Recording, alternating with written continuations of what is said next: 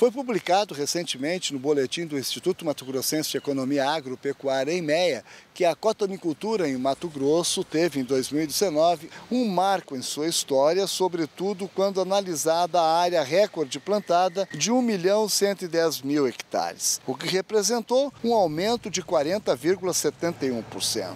Outro recorde foi a produção de algodão em caroço da safra 2018-2019, com 4 milhões 790 mil toneladas, conforme aponta o estudo. De acordo com o IMEA, o aumento da área foi reflexo de preços favoráveis obtidos pela pluma na safra anterior. Também denota o maior investimento do produtor na atividade a cada ano no estado. De acordo com a Associação dos Produtores de Algodão de Mato Grosso, os preços internacionais do produto não estejam satisfatórios no momento, em virtude de uma maior oferta do produto. O cotonicultor do estado tem se empenhado para angariar cada vez mais mercado e para não correr risco de perder o que já foi conquistado. Deve trabalhar para manter a mesma área de produção na próxima safra. O boletim do IMEA ainda informa que, com uma maior área e com maior desenvolvimento da cultura durante o ano, as cotações da pluma em Mato Grosso encerraram a última semana de dezembro com uma média de R$ 88,42 arroba, o que representa uma retração de 11% quando comparado ao mesmo período de 2018.